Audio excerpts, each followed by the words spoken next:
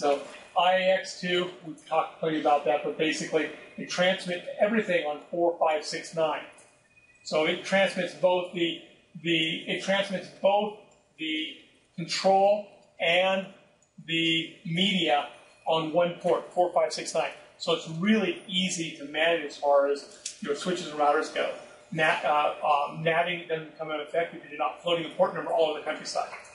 If you can take a free IAX client phone and make a telephone call, open up 459 and make a telephone call with that, and you take a SIP uh, phone like the um, uh, oh, the Bria phone or something, you can't make a call, you have firewall issues. It has nothing to do with the switch.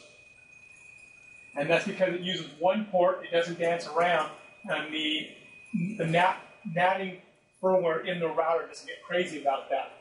It always, and once again, it always goes to the server. So, um, one of the really cool things is that it has really long-term established jitter buffers. The SIP in the 1.4 about 25 or 30, somewhere in there, started getting some SIP, SIP jitter buffers and automatic jitter adjustments. It's nowhere near as mature and uh, well done as the IAX. The IAX was done by the Digium crew. I don't know where the SIP stuff came from.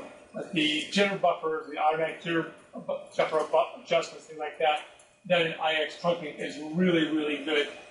And likewise, the the way they pack everything into the channel is very, very efficient when we're doing you know, like a SIP interconnection to um, machines.